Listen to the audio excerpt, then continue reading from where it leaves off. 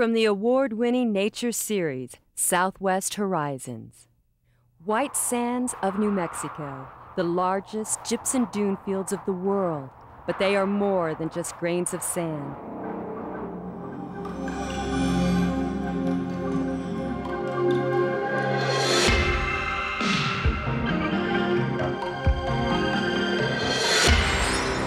Venture to White Sands, White Wilderness, Episode 1 of Southwest Horizons.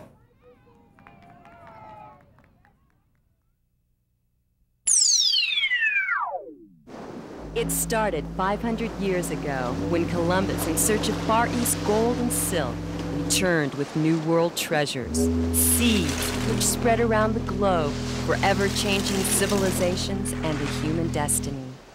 Today, researchers are finding that the original genetic material from which these plants came are disappearing at an alarming rate. Follow the race against time as modern science meets the challenges of a rapidly decreasing gene pool. The real treasure that Columbus took back to Europe and then gave to the rest of the world was the gift of the Indians to Columbus, green. Don't miss green gold from the Maya to the moon.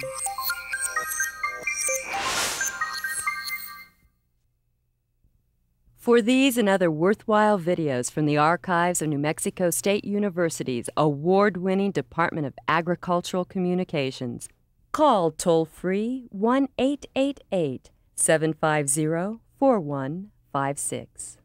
Most titles are $24.95 plus shipping, major credit cards accepted.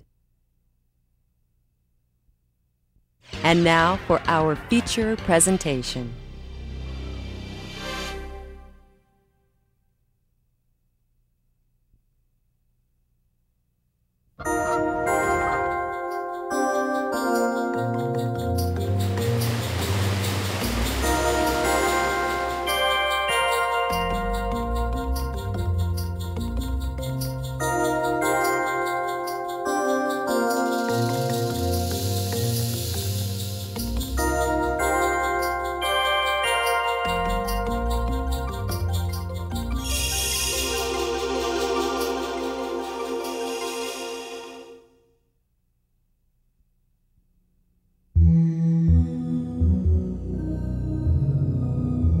Been called the Sky Islands, a wonderland of rocks, and by resident Apache natives, the land of standing up rocks. Welcome to the Chiricahua Mountains. This inactive volcanic range, located in southeast Arizona, borders the state of New Mexico to the east and the country of Mexico to the south. The Chiricahuas are home to a wide range of unusual animals and an eclectic selection of plants.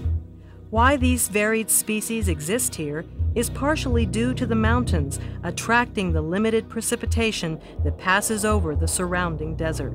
This is the basic idea of the Sky Island concept, but more on that a bit later.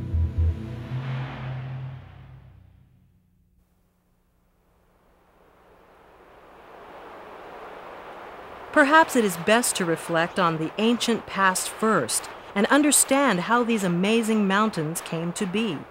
What forces shaped this unique range? Why did the Chiricahuas rise so rapidly from the desert basin?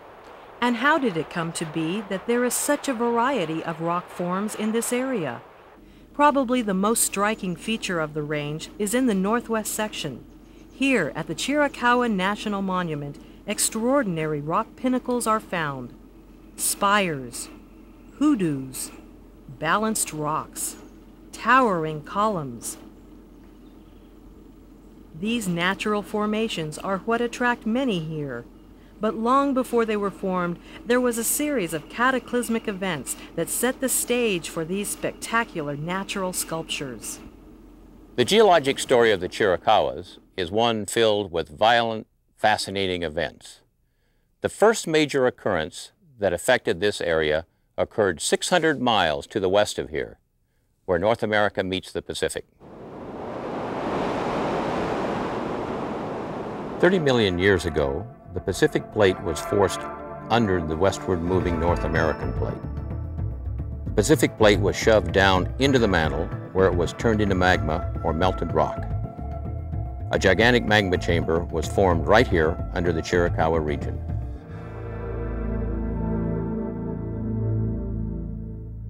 Behind me on the high crests of the Chiricahua Mountains are the remnants of the Turkey Creek caldera that erupted here 27 million years ago. That eruption ejected vast amounts of volcanic ash, cinders, and bombs into the atmosphere. Accompanying that eruption were fast-moving clouds of incandescent gases that rushed down the hillside in speeds of more than 100 miles an hour, building up this large volcano that eventually collapsed inward and has since eroded to the remnants that are left on the high crest of the Chiricahuas.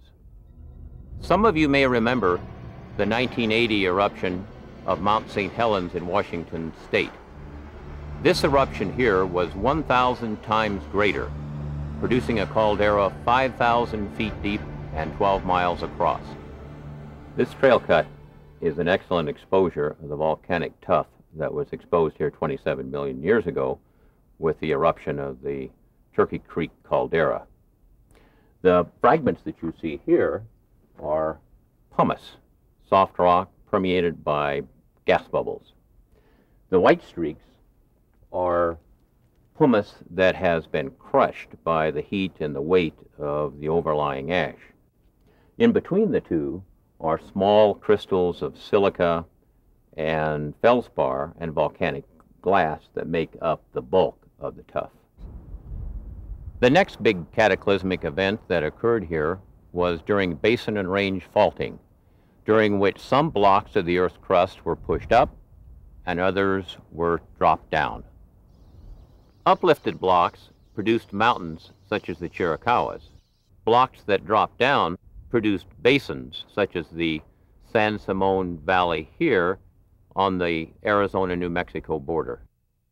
It was during the cooler, wetter periods of the last ice age that the maze of narrow canyons and awesome pinnacles were formed.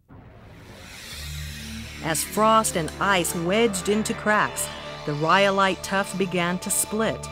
Water runoff between freeze and thaw also aided the process. Today, the results of this relentless ice age erosion can be easily seen if you know what to look for. I'm standing here in a slot canyon. This is a perfect example of weathering that occurred during the last ice age. Repeated freezing and thawing of ice in joints such as this roughed out these large-scale features, a process that was quite active during the last ice age but has since come to a virtual standstill. It has been 10,000 years since the last ice age. The climate has become increasingly warmer, drier, this has dramatically slowed down the erosion of the pinnacles here at the Chiricahuas, but it has not stopped completely. What you see on much of the tuff today are lichen. These plant colonies consist of fungus and algae that contribute to the continued erosion of the spires. Lichens produce acids that etch minerals such as feldspar and silica in the rhyolite. These acids concentrate minerals on rock surfaces, which then form a type of rock varnish. The lichens also expand when they are wetted by rain. These plants can exert enough pressure to dislodge minerals and chip off rock flakes, and so the erosion process continues. It would appear that these pinnacles could be easily toppled by earthquakes. Yet studies indicate that they could withstand 12 to 13 times their stress weight. So you can be assured that these pinnacles will be here for many generations to enjoy. The grandeur of this magnificent mountain range extends beyond the area of the pinnacles. The Chiricahuas thrust up almost 5,000 feet from the surrounding desert floor to its highest peak, almost 9,800 feet above sea level. This dramatic relief is characteristic of some 40 neighboring mountain groups that exist in southeast Arizona, southwest New Mexico, and northern Mexico. Scientists label this complex the Madrean Archipelago. An archipelago is a large group of islands, which aptly describes these mountains rising above the surrounding desert landscape. But there is perhaps a better term for the Chiricahuas and its isolated mountain ranges. They make up what many simply call the Sky Islands.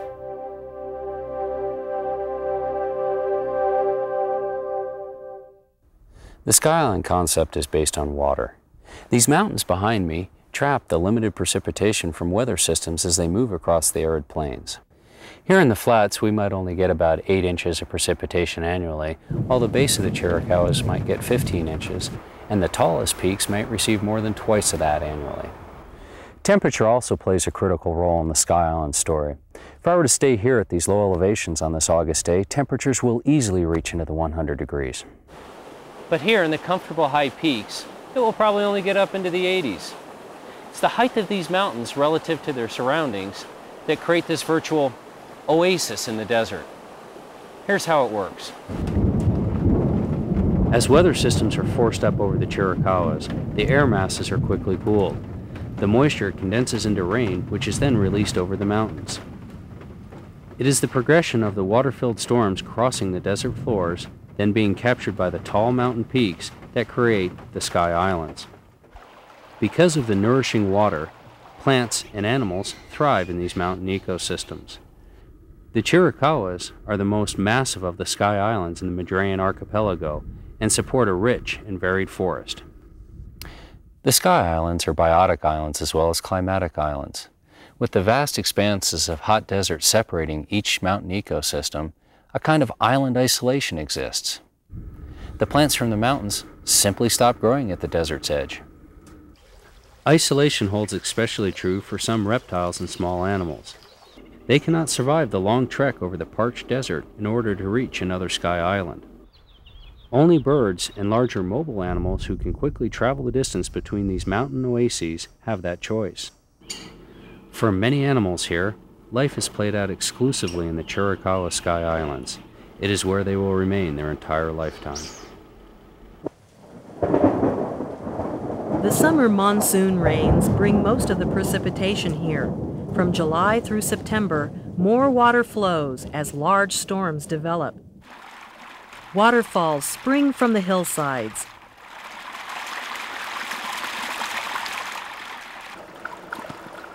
Dry creek beds become alive.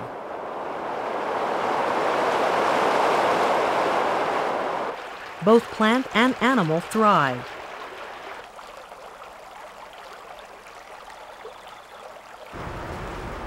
Summer storms are so frequent that they made a strong impression on the Chiricahua Apache, residents of these mountains for centuries.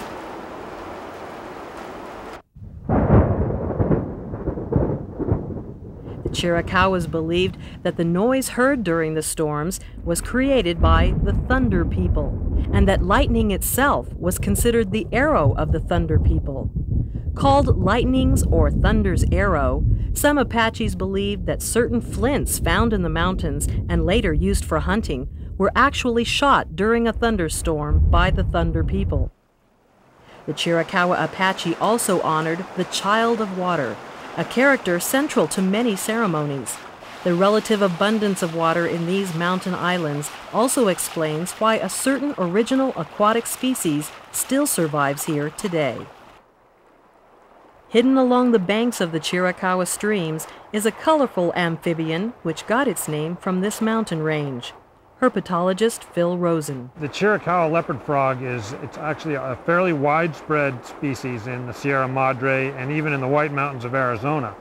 It uh, happened to first be recognized as a distinct species here in the Chiricahua Mountains uh, along this stream.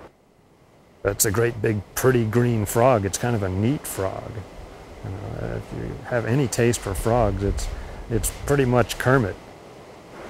Leopard frogs are a fairly ancient group, and we know that a lot of the species, all of which are very similar to each other, are, are ancient. So it looks like the Chiricahua leopard frog might be as old as 100,000 or even a million years. Uh, this mountain range is a, a big one uh, in southern Arizona, the biggest and the best watered, and uh, presumably was one of the best places in southern Arizona for the Chiricahua leopard frog at one time. Uh, at, at this point, there are very few left, and we're actually trying to save them. The Chiricahua leopard frog is, is struggling in the Chiricahuas today. Over the course of a number of years, the introduced species seem to have eliminated the Chiricahua leopard frog from uh, almost every perennial stream in the Chiricahuas.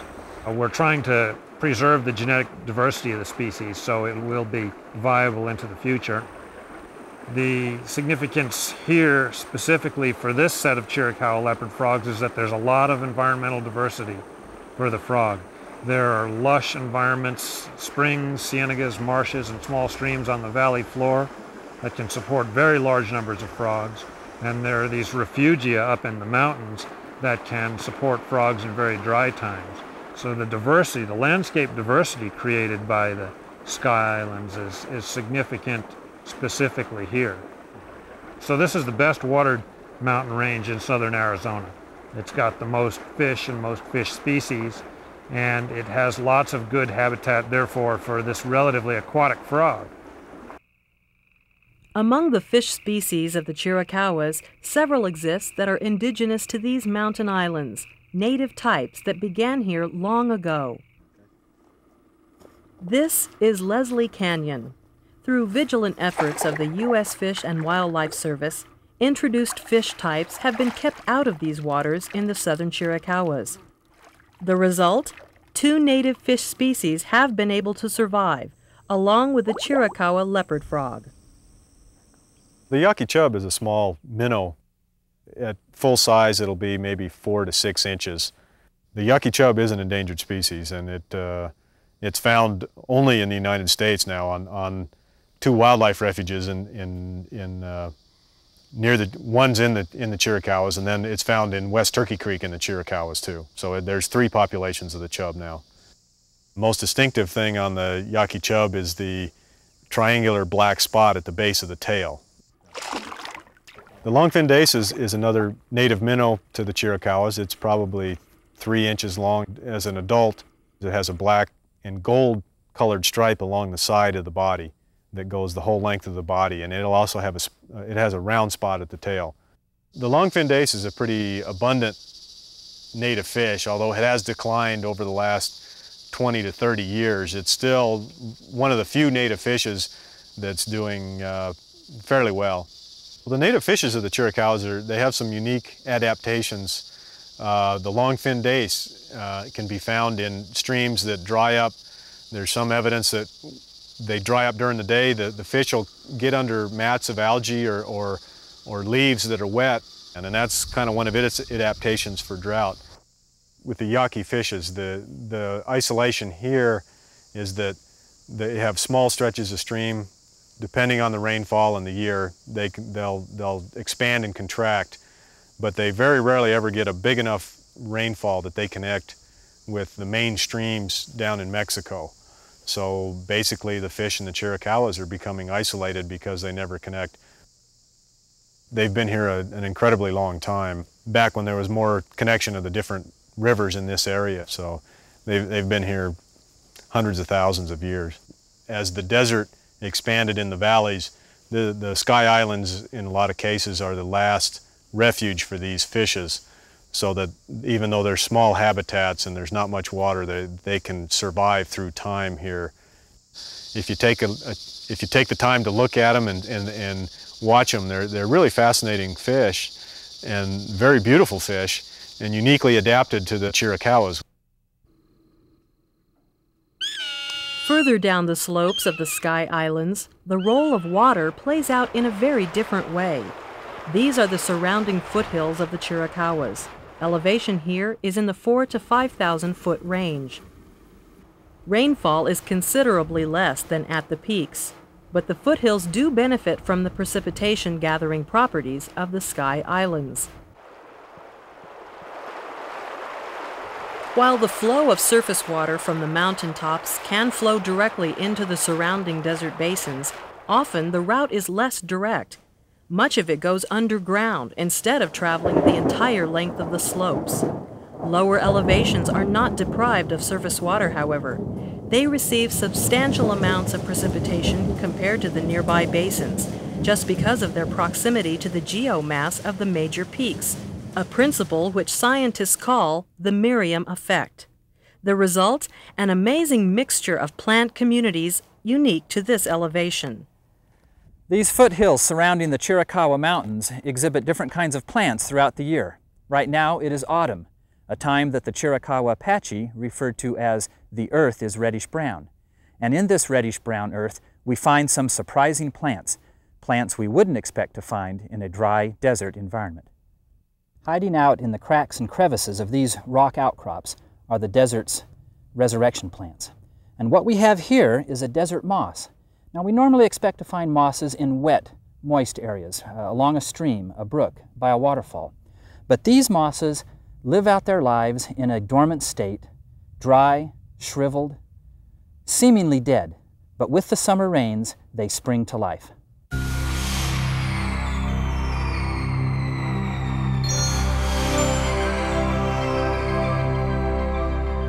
Moss life cycle requires that the sperm swim in a film of water across the surface of the plant to the egg. Fertilization takes place, and then the life cycle begins again. Another example of a desert resurrection plant is this desert cloak fern, growing next to this barrel cactus. And here we have the contrast of water and desert life. The fern, like the moss, requires water for its life cycle, and so it waits for the rains. The cactus stores its water in its tissue, using it whenever it needs it.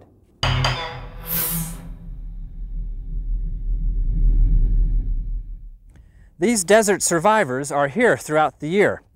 But in the spring, when temperature and precipitation are just right, these same hills become covered in magnificent color.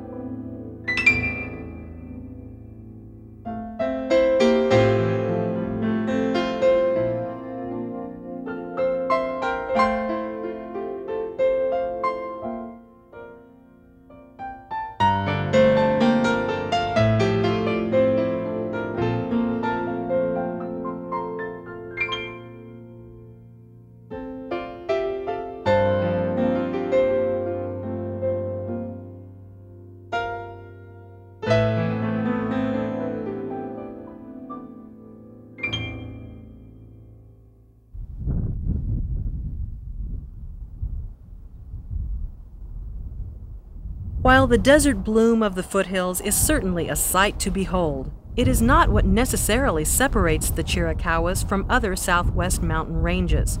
Rather, it is where these sky islands sit in relationship to four very different biomes, or major ecosystems, that make it so special.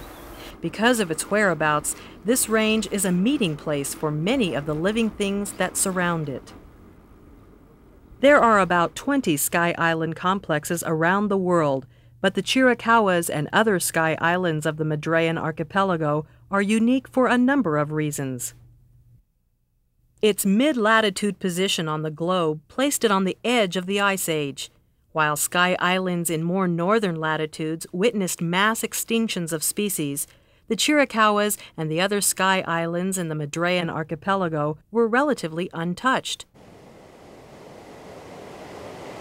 The significance? Ancient species from that time still remain in the Chiricahuas. The Madrean complex also has a north south axis, which spans about 250 miles. Running through it east to west is the Deming Gap of the Rocky Mountains. The importance? Easier movement of animals from all directions, making it a more diverse habitat than many Sky Island complexes. And lastly, the Madrean is the only Sky Island group that straddles two major plant zones, two major animal zones, and elements of three major climates, which include tropical, subtropical, and temperate zones. The result? a combination of plants and animals unsurpassed by any Sky Island complex on the planet. That's what makes the Chiricahua Mountains so unique. You've heard the popular phrase, location, location, location. Well, the Chiricahua Mountains are what I refer to as a biological crossroads, where four major ecosystems come into contact, and this results in a very unique plant and animal community that's found nowhere else on the Earth. What you have here are the biotic representatives of two of North America's greatest deserts, the Chihuahuan from the east and the Sonoran from the west. And then, the life forms of two major mountain ecosystems also join here the Rocky Mountains from the north and the Sierra Madre of Mexico from the south. For a forest scientist like myself, the Chiricahuas offer an area unsurpassed in the variety of plant forms found in North America. Let me show you some distinct examples from the four ecosystems.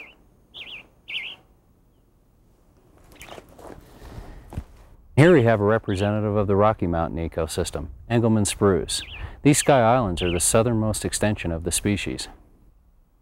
Engelmann looks very similar to white fir, which also grows here. But if you look more closely, you can identify the species by its sharp pointed needles. Engelmann spruce is well adapted to the heavy snowfalls that can occur in the high peaks of the Chiricahuas. Its branches have a downward, drooping look to them, giving this tree the ability to shed snow more easily. Here we have an example of a tree from the Sierra Madre ecosystem, the Apache pine. This is at the northern end of its natural range. Probably the most distinguishing feature of this tree is its extremely long needles, which add a special look to the Madrean-influenced forest of the Chiricahuas. Apache pine, with its distinctive red bark, graces many of the lower canyons of these mountain islands. The influence of the surrounding desert biomes is quite evident in the dry foothills of the Chiricahuas. A distinctively Sonoran plant growing here is the cane cholla. This cactus is quite small, only about 5 to 10 inches high, but it has extremely long needles in relationship to its size. Like all cholla cacti, it has the characteristic photosynthetic stem and reduced leaves. And here, representative of the Chihuahuan ecosystem, is the soap tree yucca.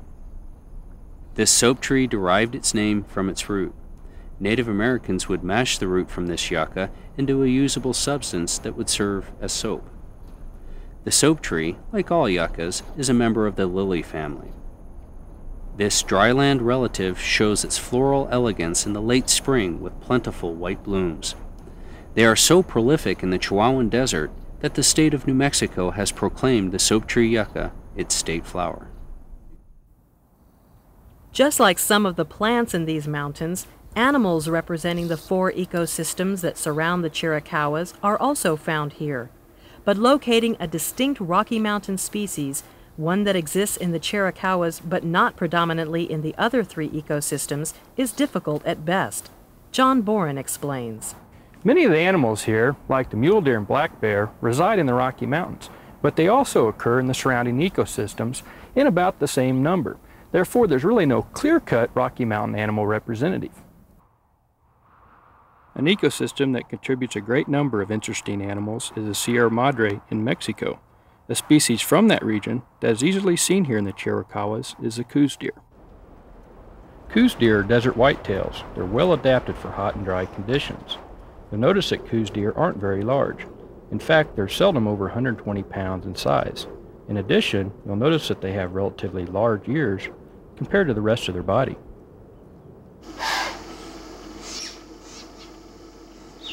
This species is very elusive and quite alert.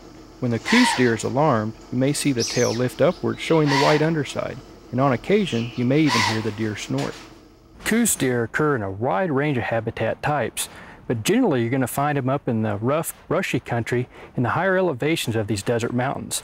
Coues deer will prefer oak woodland and oak pine woodland communities like here near this area near Sunny Flat. In spring, these deer consume large amounts of new twig and leaf growth from a variety of woody species, but they also eat forbs and grasses during this time. By the end of the growing season, their diet shifts primarily towards browse, such as leaves from oak trees. Another Sierra Madre animal that sometimes chooses the Chiricahuas as its home is the Coatimundi, more commonly called the coati. It is in the canyon bottoms, like here at South Fork, that you might just have the opportunity to spot one. Coatis are mammals that are about 7 to 10 pounds, the size of maybe a Cocker Spaniel or a really large house cat. Coatis are really a tropical animal. They get down into the tropical rainforests of South America, up through Central America, and they're found throughout Mexico. And we're at the northern extreme of the range, some of these sky islands down in uh, southern Arizona. John Koprowski has been doing research on coatis here in the Chiricahua National Monument. By tracking the animals with radio collars, he and his team have discovered some interesting behavior. Coatis here in southern Arizona are much different uh, in some of their behaviors than the, the species is in the tropics where they've been probably the best studied. We've had animals go as far as five or six miles in search of food uh, throughout the course of a day. And that's very unlike something you would see in, in really lush tropical habitats. When, when you get a good look at a coati, watch the nose. It's probably the most unique aspect of, of the animal. The nose looks like, a, like another appendage. They're often rooting around uh, under leaf litter. They roll over rocks, uh, rocks almost um, half their size. They can roll them over, find a variety of beetles, lizards, uh, snakes. They'll, they'll go after all those things and they're able to find them uh, using that nose. Probably the most striking thing that, that anyone would notice if you're, if you're following these guys for very long is that there is that of their social behavior. They travel in really large groups. The groups can be 15 or 20 animals at times. Uh, in the Chiricahuas, there have been some reports of, of groups uh, greater than 40 uh, individuals. You may think that the coati would be the most unusual animal from the Sierra Madre ecosystem that could be found here in the Chiricahua Mountains. But that's not the case. What about a large spotted mammal? One that we generally picture in a steamy South American jungle. Well, that's exactly what one local rancher, Warner Glenn, observed about 20 miles from where we're standing. Big head. That, that, that impressed me uh, right away, the relation of the, uh, the size of the head to the body and big shoulders, big, massive, uh, powerful chest and, and shoulders. What Warner encountered was the largest cat in the Americas, a jaguar. In the last 150 years, there have been only 54 confirmed sightings in Arizona. Fortunately, Glenn had the presence of mind to photograph this historic encounter. When I looked at that jaguar on that rock, it, it, it was just this big, just a beautiful cat, and a kind of a buff uh, cinnamon type of orangish uh, color with the black spots or rosette pattern I would think that his body was approximately five feet. It, it was just uh, absolute uh, thing of beauty sitting there. it just uh, it's a most uh, well.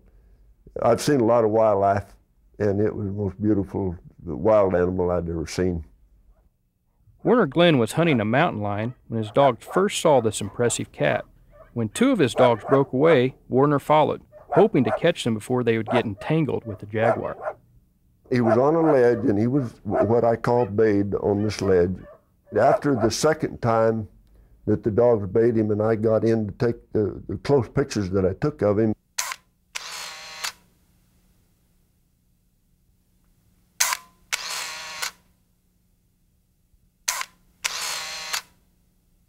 I was starting to try to get my dogs away.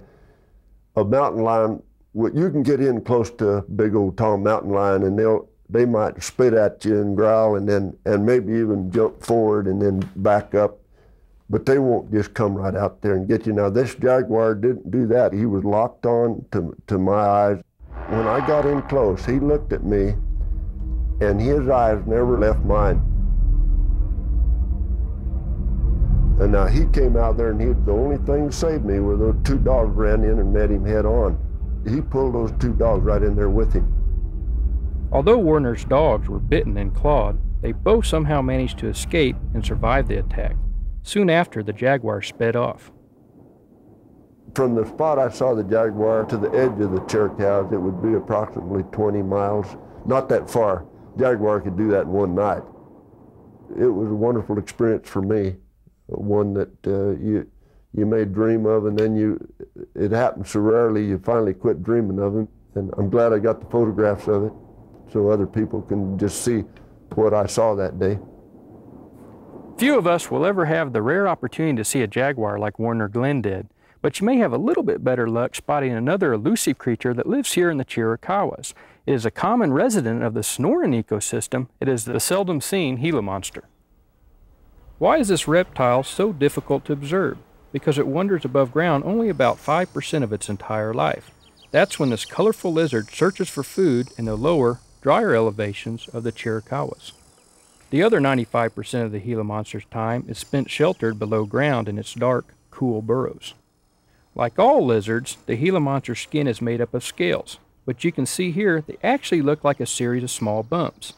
Underneath each scale or bump is a separate bone plate, giving the animal a tough outer hide that protects it from predators.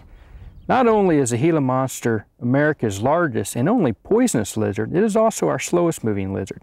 Now, Gila monsters have a forked tongue that they use to sense out their prey, while most other lizards really rely on their vision rather than sensing with their tongue. The jaws of the Gila monster are extremely powerful, and caution should be taken not to get too close to one. Their teeth have sharp cutting edges and are grooved. When it attacks its prey, the lizard clamps down and chews. This action allows the venom to flow down the vertical grooves in its mouth and into the wound. Although their venom is used to kill small animals for food, it is rarely fatal to large mammals, including humans. Gila monsters actively seek whatever foods are available. They feed primarily on small animals such as desert cottontails and squirrels. They also eat eggs from ground nesting birds and reptiles. This lizard stores fat in its tail. So efficient is this storage system that the Gila monster can sustain itself for an entire year on only three to four meals. The biological crossroads concept would not be complete unless we discussed some animals from the Chihuahuan Desert that do reside here in the Chiricahua Mountains. A number of Chihuahuan species make the Sky Island their home, but perhaps one of the more fascinating of these animals is the javelina. Also called the collared peccary, this animal ranges into the Sonoran Desert, but is widely distributed in the Chihuahuan ecosystem. Javelina are generally 2 feet tall and weigh approximately 40 to 50 pounds. They prefer brushy, semi-desert habitats with cacti, oaks, chaparral, and mesquite, much like here in the lower elevations of the Chiricahuas.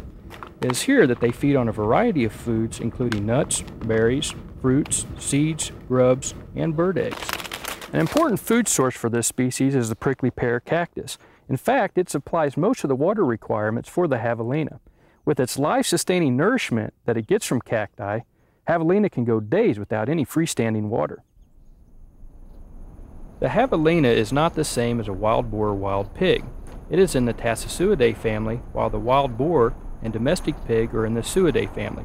What distinguishes these two animal groups is the location of their upper teeth or tusks. Javelinas are pointed downward, while the upper canines of a wild boar are curved or flared upwards. Javelina are usually seen in groups of 2 to 25 animals. In fact, they are very social animals and will remain in the same group year round.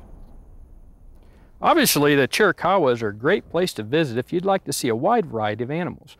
With a little bit of time and patience, you'll have the opportunity to spot creatures from two diverse deserts and two major mountain ranges. The proximity of the Chiricahuas to these large, unique ecosystems makes it a biological crossroads that just shouldn't be missed.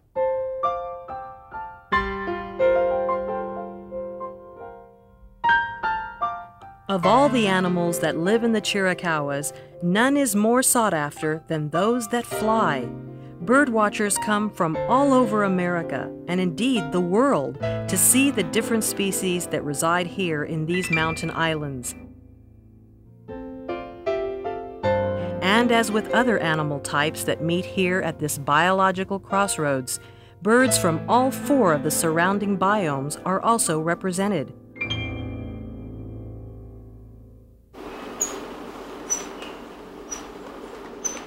Hummingbirds are a big draw. Several species can be found throughout the range.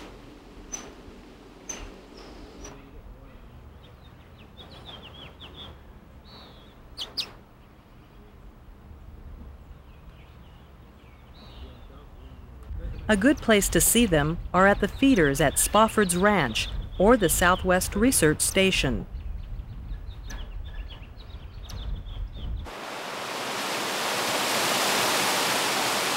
The well-watered canyons of these sky islands provide a breeding ground for insects. This attracts a number of flycatchers.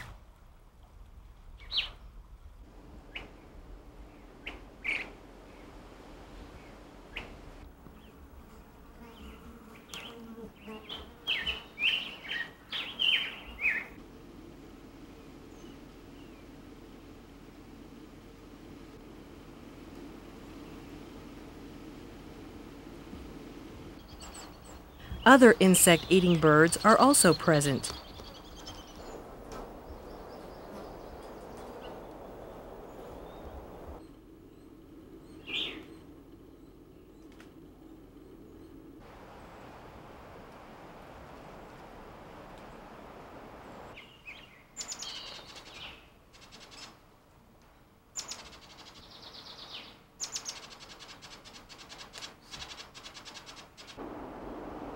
Soft wood of pines and sycamores attract different woodpecker species.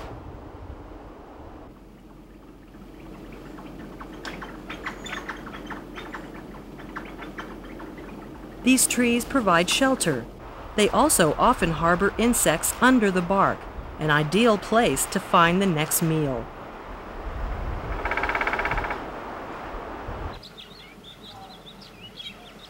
There are finches,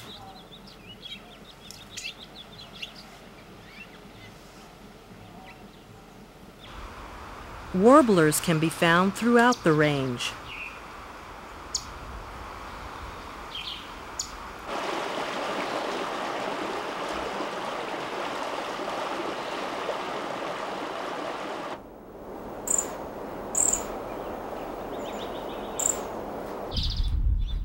Ground feeders are also abundant in the Chiricahuas.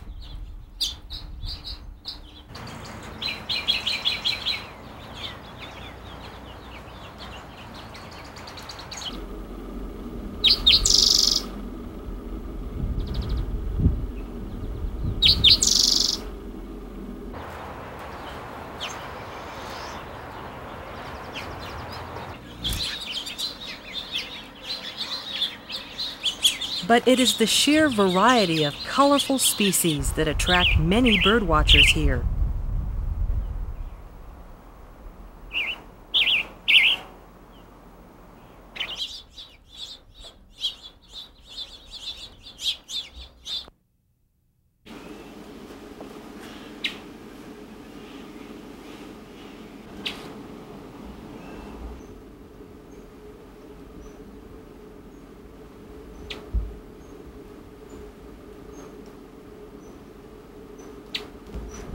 Over 300 bird species are found in the Chiricahuas.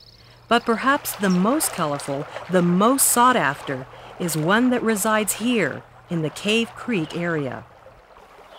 It is called the elegant trogon. This neotropical bird ranges from the rainforests of Costa Rica to its northernmost limit, the Sky Islands of Arizona. People come from all over to see this beautiful creature. Understandably so. It is only here, in these sky islands, that trogons nest in the U.S. But it is the bird's rainbow of colors that makes this species highly prized by bird watchers. It easily lives up to its name, the elegant trogon. Males have eight distinct colors. A brilliant red breast, surrounded by a white breast bar, and a white tail. On its mostly black face, a yellow bill stands out, along with an orange eye ring. Depending on the light, feathers on its back range from iridescent emerald green to a shimmering turquoise blue. Likewise, the upper tail feathers appear olive green or metallic brown. Its wings are a dark smoky gray. The female trogon, while not as brilliant in color as the male, has its own special beauty. A white oval eye ring with a milky white tear spot to the side. A more subtle rose-colored breast. Well-defined black bars on the undertail. And a gray-brown back. Her extraordinary metallic brown tail gives this species its former label, the coppery-tailed trogon. While color makes the elegant trogons literally stand out in the Chiricahuas, they have other less noticeable characteristics, ones that show just how highly adapted this bird is to its Sky Island environment. The elegant trogon, unlike all other uh, species of trogons in the world, and there are 34 other species in the, in the family, uh, elegant trogons are the only species that don't create their own nest. The elegant trogon lives primarily in cavities excavated by woodpeckers. The primary cavity excavator in the Chiricahua Mountains would be the acorn woodpecker. Their cavities are slightly too small for elegant trogons, but it turns out that the uh, northern flicker, the red-shafted form, is the, the subspecies that we have here, enlarges these nest cavities to just the right dimensions for elegant trogons so that the trogons are dependent on not just one woodpecker species but two for about 95% of all their cavities. The other 5% are naturally occurring cavities in sycamores. Another adaptation of the elegant trogon is its foraging style. Armed with an effective serrated bill and superior aerial skills, the trogon can get to food that its competitors cannot. They're after a wide variety of, of uh, plant and animal foods. And they're competing with species such as the American robin, the Mexican jay, which are both here in abundance in the same area. But because they hover pluck fruit, something that neither a robin nor a jay uh, can do, and um, because they're going for larvae further out on twigs, because they're sit and uh, wait predators looking for extremely slow-moving prey. They're able to find plenty of food from everything I've ever observed.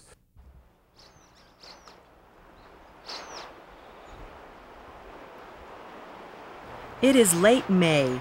Within the Chiricahua Wilderness, along upper reaches of South Fork Creek, the elegant trogons have returned from spending their winter in the warmer climes of Mexico south of the border.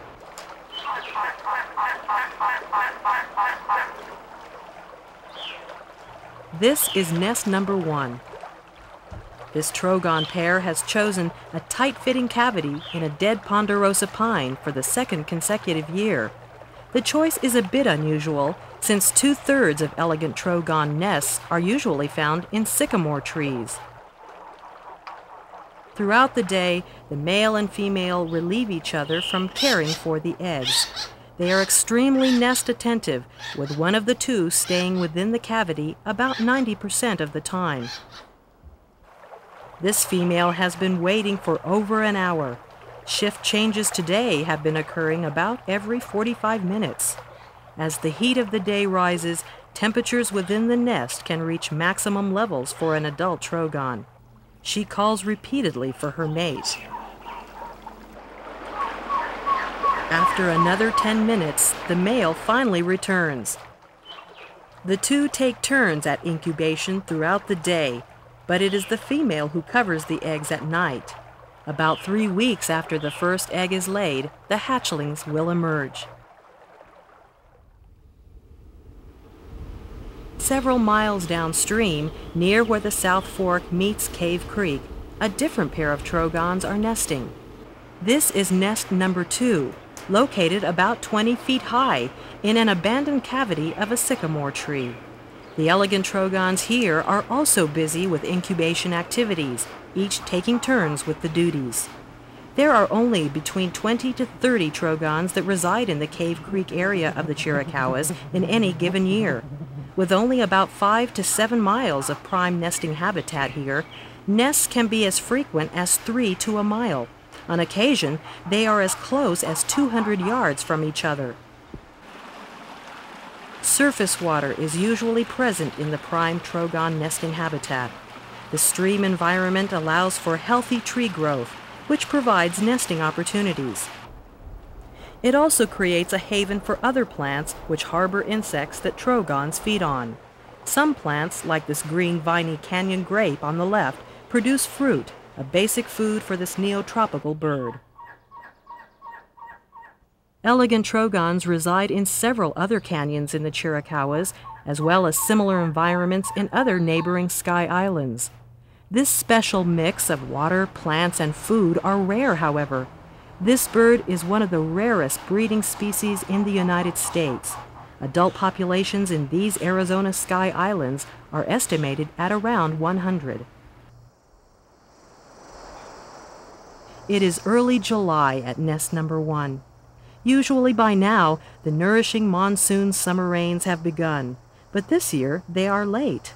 South Fork Creek is almost totally dry, and the day's heat begins early this morning.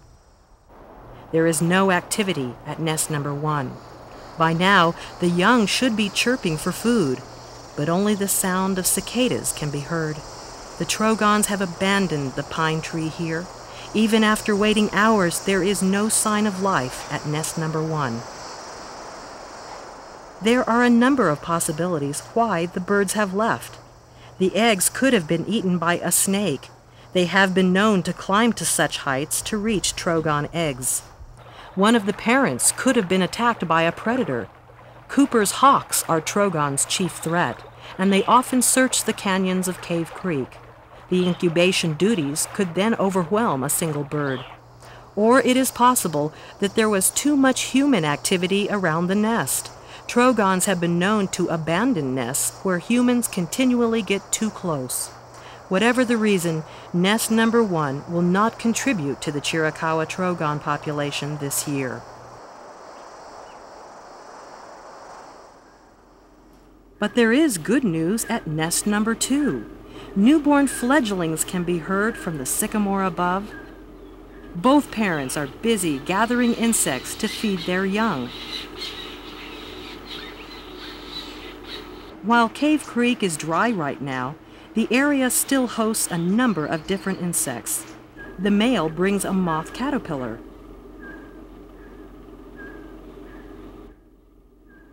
And on the next trip, an adult moth. The female captures an angle-winged katydid. And later, a short-horned grasshopper.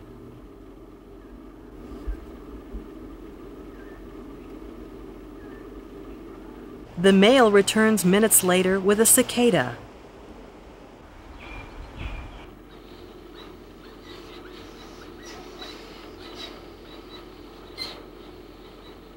The environment around Cave Creek is producing insects well this year. The trogons bring a constant stream of fresh food for their young. They arrive about every 5 to 15 minutes with another insect. In less than a week, this brood of young trogons will be leaving the nest.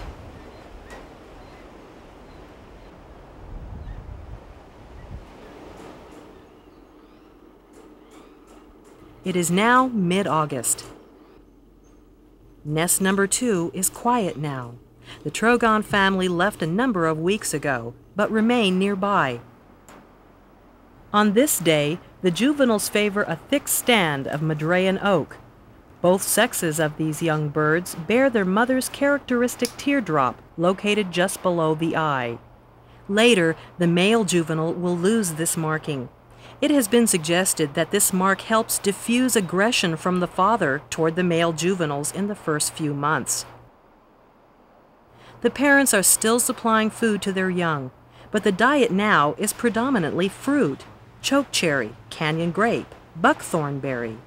Some juveniles, though, are beginning to forage for themselves. And as the August days roll on, the juveniles become more confident with flight. It is certainly time, for the family will be departing the Chiricahuas in just a few weeks, heading for the warmer Mexican climates for the winter. While elegant trogons range from Central America to just over the United States border, the elegants from this region are believed to winter somewhere in the northern Mexico states. But for the juveniles who have just acquired flying skills, the trip is quite arduous, only about half of the young trogons will survive the first year. Of that group, nearly 90% are lost to disease or predation. Elegant trogons are very watchful, they're very nest attentive. The adults invest a great deal of energy in bringing off the, the two young, is the average for most nests, so that uh, the survivorship is, is fairly high. But once again, with a single nest and only two young in it, you can see that uh, trogon recruitment into any canyon is, is very slow. I think that with present uh, habitat management policies by the Forest Service and uh, self uh, governing policies exhibited by this generation of bird watchers that we're not apt to see the trogons disappear at any time in the near future.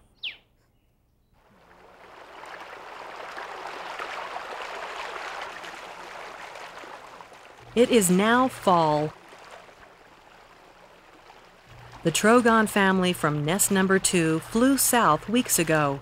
With luck, all of them will return again next year to the Chiricahuas, but it won't be until next spring that their familiar call will be heard again.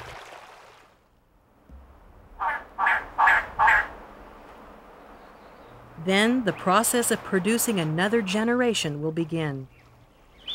The elegant trogon is symbolic of one of the richest breeding bird communities in the United States. The rhythms of nature in Cave Creek and South Fork are special. The continuity here assures the continuance of this wonderful bird from the south.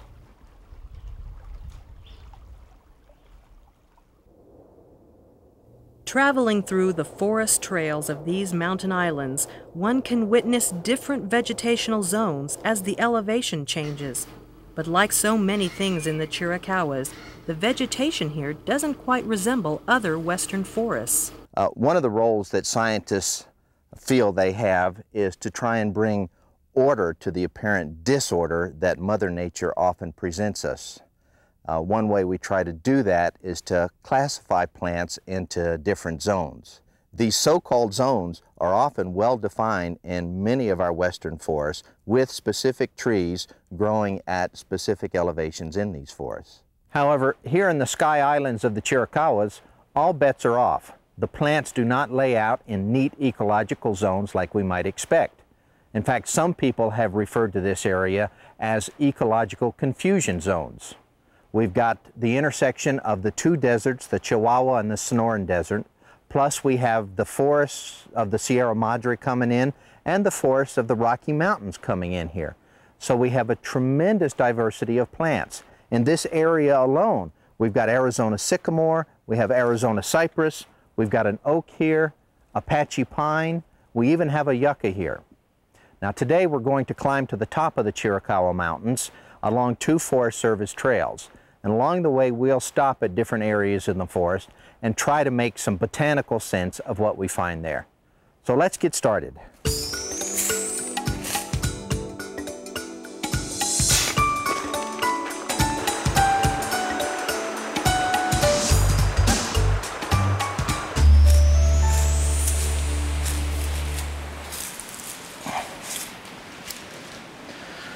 One of the fascinating things about the forest during the rainy season is a tremendous bloom of mushrooms that we'll find on the forest floor. This particular fungus that we have here appears to be a wood rotting gill type fungus. Yes, it's got the gills. These fungi are very important food sources for all sorts of wildlife during this time of year. Let's head on up the trail and see what else we can find.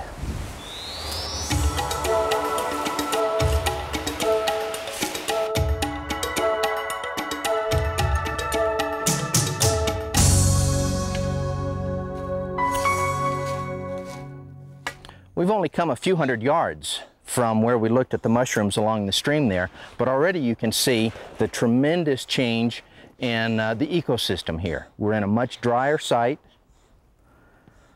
According to my altimeter, we're at 5,500 feet, and we're in what might be characterized as a traditional oak woodland. But there's still a fair amount of confusion in this particular site here. We've got Arizona cypress, that's normally found in much wetter sites. And over here we've got several species of oaks from the Sierra Madre region, and we even have uh, the Chihuahua pine, which is very characteristic of the Sierra Madres. Now let's go on to the high country.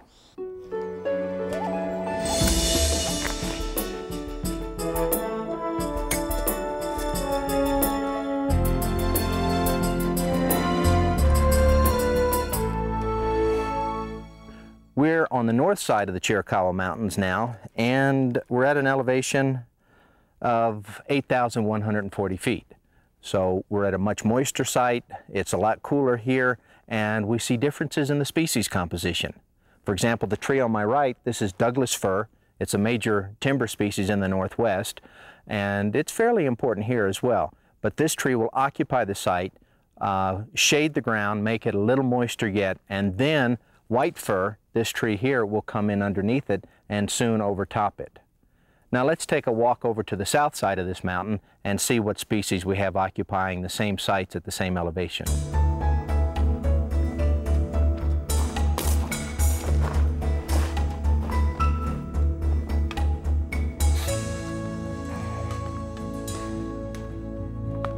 We've now come around the Chiricahua Mountains to a south-southeast facing slope, and you can see we're in a much more open stand and is predominantly ponderosa pine.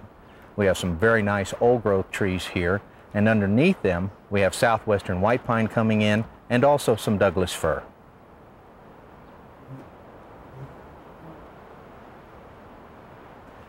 As we've seen here in the Chiricahuas, there is a tremendous diversity of plants as we increase in elevation.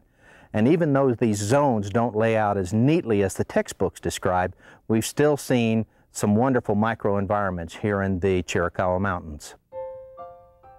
Truly, the diversity of the Chiricahuas is outstanding. Its geology, its abundance of water, its animals, its plants, they all contribute to making this one of the more unique environments in North America, if not the world. The extremes of this region define both its borders and character. The Chiricahuas mark a blending of its surrounding biomes, a biological crossroads between the Sonoran and the Chihuahuan, the Rockies and the Sierra Madre. They are indeed distinct mountain islands in the desert.